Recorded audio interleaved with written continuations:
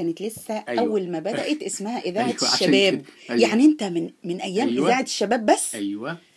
هقول لك انت قديم قوي أخي ما يبانش عليك والله. بس. أنت قصة قصة درامية كبيرة. لا هقول لك ليه. أنت عارفه اللي بيقولوا دخل أنا دخلت الإذاعة ده اللي بيسموه بشرط. آه. يعني صغير السن جدا. امم وبدأت علاقتي بإذاعة الشباب صديق للبرامج. امم يعني سمعت في الراديو برنامج وكان ما يكتبه الشباب في سنته الأولى. كانت بتقدمه الله يرحمها عديلة بشارة آه. وحلقات أخرى بيقدمها صلاح الدين مصطفى وعزة محي الدين آه والحقيقة أستاذ صلاح الدين مصطفى إعل- أستاذة عديلة بشارة إعلامية كبيرة لها طبعاً. تاريخ كبير. في الشباب والرياضة جميل. أستاذ صلاح الدين مصطفى طبعاً. من أجمل وأشهر مذيعي التلفزيون المصري آه، وكان و- في والأس- الشباب آه طبعا أيوه. والأستاذة عزة محي الدين من نجوم البي بي سي طبعا طبعا طبعا هم دول كانوا بيقدموا البرنامج ما يكتبه الشباب وأنا تعلقت جدا بهذا البرنامج آه، أنا تعلقت جدا بهذا البرنامج. ما يكتبه ما الشباب يكتبه. وبدأت أبعت للبرنامج ده جوابات. مم. وقلت هل يعني هيردوا ولا إيه؟ هيردوا ولا إيه؟ وفي نفس الوقت ده كان لسه في سنته الأولى. مم. وكان في نفس الوقت طلبت من آه، صلاح الدين مصطفى مع احتفاظي طبعا بالألقاب آه. للجميع ه- يعني. هؤلاء آه، طبعاً. كبار طبعاً. كبار الإعلاميين. طبعا. آه، قلت قلت يا أنا نفسي أزور مبنى الإذاعة. آه. في الجواب. في الجواب. مم. وهو كتب قال آه، الزميل أحمد فتح الله الزميل قال عليك الصديق آه، الصديق. الصديق. أحمد فتح الله بيطلب إن هو يزور مبنى الإذاعة والتلفزيون، وإحنا بنقول له أهلا بيك في أي وقت وعمل لي التصريح. مم. وجيت. ده كان أول بقى وكان مره أول. وجيت دخلت إذاعة جيت دخلت إذاعة الشباب. هي في كانت في غرفة في الدور السادس. مم. قبل ما تبقى في الدور الخامس. مم. إحنا اداريا في الدور الخامس. هي لحد دلوقتي كلها في الدور آه الخامس. آه. لا كانت غرفة في الدور السادس وكان بيشرف عليها مديرها الأستاذ المرحوم المبدع الكبير إيهاب الأزهري. آه رحمة الله عليه. آه ده كان سنة كام تقريبا يعني يعني في نهاية السبعينات. ده كنا لسه يعني ما كملناش خمس سنين لا عمر أقل عمر أقل إذاعة أقل شباب رياضة أقل, من خمس سنين. أقل لأن أنا حضرت كمان حفل عيد أنت إذاعة كنت إيه في. المدرسة ولا إيه؟ كنت آه تلميذ كنت في مدرسه آه مم. آه كنت في الإعدادي. ما شاء الله. آه مم. وب... لكن كنت متيم جدا بالكتابات. مم. فلما جيت آه، بدأت آه، يعني أكتب للبرامج وأكتب أشعار وأكتب أفكار و... وأنا عاده بيسمى يعني بيقولوا عليها إيه؟ سوسة قراية. مم. صحيح آه.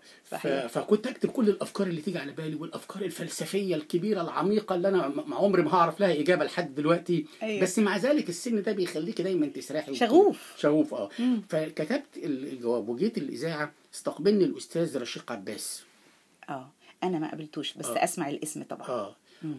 وقال لي أنت أنت أنت في سنة كام أعتقد كنت في ثالثه إعدادي. تقريبا. فقال لي قال لي انت صغير قوي. بس قول لي انت بتعرف كان وقت إرسال إذاعة الشباب؟ ساعتين. ساعتين. بدأت بساعتين من لخمسة. مم. قال لي انت بت انت بتعرف تتكلم عربي؟ قلت له يعني بتكلم عربي. قال لي تتكلم اللغة العربية. الفصحى يعني. آه. يقصد الفصحى. فقلت له آه. قال لي طب كلمني كده وإحنا قاعدين في المكتب. مم. آه، من أنت؟ فقلت له أنا فلان الفلاني. آه، ماذا تدرس؟ تدرس كذا كذا كذا كذا. ولقاني بعطش الجيم. مم. فجأة من غير ما أحس لقاني بعطش الجيم. قال لي لا ده أنت لقطة تعالى معايا دخل نزلنا الاستوديو. على طول استوديو 23 وراح مسجل معايا برنامج اسمه تعالى نتحدث العربية. مم. جميل. هو حوار وأنت عادي. طفل بقى. آه. يعني طفل يتحدث العربية وهو بيقدمك حوار على نموذج فكرة حوار عادي جدا مم. لكن كان يصحح لي الأخطاء لو في خطأ بالفصحى. يقولوا للمستمعين. الله ده برنامج ف- تدريبي حلو قوي فمنهم إن هم يسمعوا المستمعين. آه، إزاي ممكن نتحدث باللغة العربية ونبقى ممكن حديثنا يبقى عادي جدا باللغة آه. العربية الفصحى آه ونتكلم في كل الأشياء وفي نفس الوقت لو في خطأ يصححوا لي بس الحمد لله ما لقاش خطأ ما أعرفش. إزاي. فالمهم وطلعت من البرنامج الكلام ده كان الساعة مثلا واحدة ونص. قال لي هيتذاع كمان ساعتين آه أنت عايز تجري تسمع جريت بقى على لا وجريت بقى على أصحابي طبعا اسمعوني في الإذاعة اسمعوني في الإذاعة المهم فالتشجيع بتاع زمايلي ده بقى خلاص خلاني أحس إنه لا الإذاعة دي حاجة مهمة قوي قوي وبقيت شغوف. بيها بشكل رهيب مم. لما آه، قابلت السيدة عديلة بشارة رحمة الله رحمة الله عليه. عليها مم. الحقيقة عايز أقول فضلها كبير عليا من ساس الراسي زي ما بيقولوا. الحقيقة فضلها كبير جدا عليا رحمة الله يعني عليه. هي بعد ال- الوالد والوالدة أكثر من له فضل عليا في بدايات حياتي. مم. الله يرحمه. رحمة الله عليه. آه طبعا. و... و... هي و- كمان أنا أسمع عنها كلام رائع وتعلمت رائع منها. إزاي فعلا أفعل ما استطيعه من أجل الآخرين. إذا اكتشفت إنسان مبدع بأي شكل من الأشكال أساعده. وقف جنبه. بأي شكل من الأشكال. المهم فعايز أقول ناس جميلة. من خلال برنامج ما يكتبه الشباب حلقات مدام عديله بشاره مم. عملت مجلة. أول فكرة يعني إيه أعمل مجلة تجمع الأصدقاء اللي بيكتبوا للبرنامج؟ مم. أصدقاء ما يعرفوش بعض. فرحت قايل عنوان بيتي؟ ده أنت فيسبوك بقى. ده آه. انت فيسبوك من قبل الفيسبوك. آه والله. مم. رحت كاتب عنوان بيتي قلت له قلت في البرنامج وأنا عامل مجلة اسمها مجلة يقظه الشباب. ابعتوا لي على العنوان ده. ابعتوا لي على العنوان. وبدأوا الناس المستمعين يبعتوا لي على العنوان وبدأت تاخد الحلقة كاملة كانت نص ساعة. مم. كل شهر. تدفر الإبداعات اللي. بتوصل لك. انت كده بتعد برنامج على يبقى أنا فكرة بعد البرنامج آه. لما دام عدت بشاره ساعة نص ساعة كل أسبوع كل شهر كل شهر كل نص حد ساعة. العدد الأول العدد الثاني العدد الثالث مم. بدأت أجمع ناس يكتبوا أو يبعتوا لي هقول لك بقى على الأشياء اللطيفة من المجلة دي بدأوا ناس يعملوا هم كمان مجلات مم. فوصل عدد المجلات يمكن لحوالي 20 مجلة وكلهم من المجلة الأم. اللي هي يقظة شباب مم. من ضمن الناس اللي كانوا بيبعتوا لي مم. لل... لل... لل... للإذاعة أو للمجلة كانت الدكتورة لمياء محمود. طبعا ما كانتش ساعتها لمياء الدكتورة. آه لا والله. آه.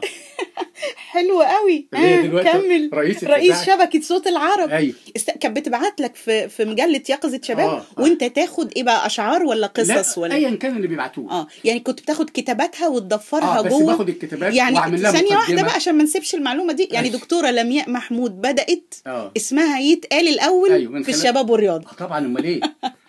حلو. لا وهي طبعا هي على فكرة أنا واثق إن هي بتعتز بالتاريخ ده جدا, جدا. أكيد أكيد. وم- دكتورة لمياء من الشخصيات ومش الجميلة. ومش بس كده بقى. بدأت الناس اللي بيعرفوا بعض دول الناس اللي بيعرفوا بعض. آه، آه، بدأت أعرفهم على بعض بره الإذاعة. مم. تعزمهم يعني على آه شاي لا, لا؟ مش كده لا. نروح مثلا معرض الكتاب. آه. فبدأنا نلتقي ناس يعرفوا بعض بالأسامي. آه حلوة. لكن, لكن ده فيسبوك. والله يا آه جماعة. آه لكن ما التقوش آه. خدت بالك؟ طب استأذنك. عندنا تليفونات كتير. اتفضل